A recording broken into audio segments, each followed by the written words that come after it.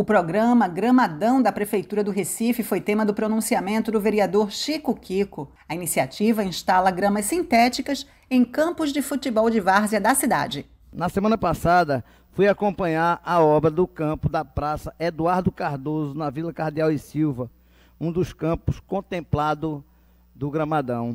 E é uma alegria muito grande ter esse gramadão sendo implantado na Zona Oeste do Recife, porque acredito que é dessa forma que a gente consegue tirar as crianças e os adolescentes das ruas, como também é, contemplar os adultos nessa, nessa grande, nesse grande equipamento que vai servir de lazer para todos os recifenses. Então esse gramadão, que é o gramadão sintético, é um, é um campo que na história do Recife nunca se pensou em fazer um equipamento tão bom que iria agradar, vamos dizer, não só os peladeiros, mas também quem não é peladeiro, que quando vê um campo daquele jeito, um campo que é feito com carinho, né?